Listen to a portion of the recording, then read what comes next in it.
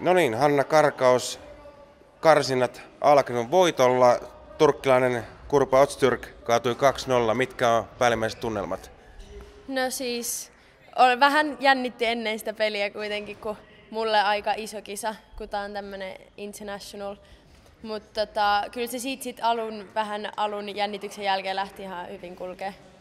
Se oli kuitenkin kohtuullisen tiukka ottelu. Et miten, tota, miten turkkilainen esiintyi sun mielestä? Oliko vastusta? Siis no siinä tuli vähän molemmilta vähän, ehkä sanoisin, että liikaa virheitä. Et ois, siinä ei oikein tullut semmoista niinku kunnon peliä peliä aikaisemmin. Oli, siinä, oli hyviä palloja kyllä, mutta se oli vähän liian semmoista virhepeliä. Mihin se sitten sun mielestä ratkesi?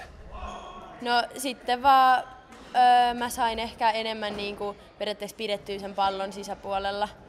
Et se oli niinku varmaan suurin osa siihen mun voittoon, että miksi se tuli.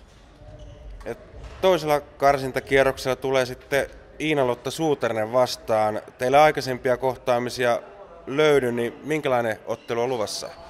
No siitä voi tulla tiukka. Totta kai paha sanoa nyt, kun ei yhtään, mä en ole nähnyt sen pelaavan nyt niin kuin vähän aikaan yhtään peliä. Mutta tota, et siitä ei, mä en voi oikein sanoa mitään, että millainen siitä tulee, mutta todennäköisesti tulee aika tiukka peli. Okei, onnittelut voitosta ja kiitos haastattelusta. Kiitos.